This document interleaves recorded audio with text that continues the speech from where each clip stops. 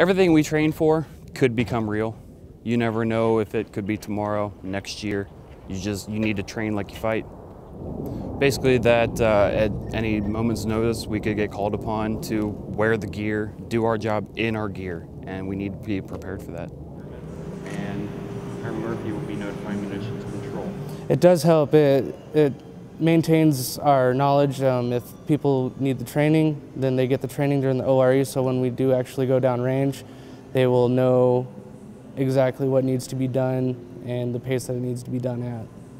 If we don't do our job right, then they won't. The people on the ground that need the help won't get the help that they need. If we mess up, if we forget to set a fuse, if we set our uh, settings wrong, then that could mean people's lives.